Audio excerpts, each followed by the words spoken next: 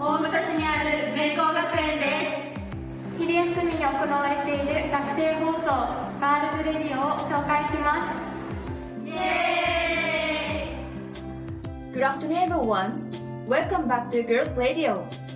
英語で MC をしてあの洋楽を流すことで皆さんに音楽と一緒に英語にも親しんでもらいたいなと思っています。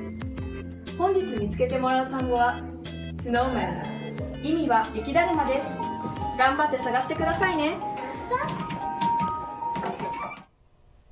という放送部の活動をご覧いただきました。いや発音上手ですね。いいですね。あの文章を作るだけでも大変でしょうね。ね。これは、えー、ね、部員はスピーキングです。し、うん、聞いてる人はヒアリングです。ねそうですね、うん、英語にも力を入れている学校のようですけれどもいずれアナウンサーを目指してっていう子も中にはいらっしゃるのかもしれませんね。ラジオってのがいいですね。いいですよね、えー、校内を盛り上げる演出になっているようですね。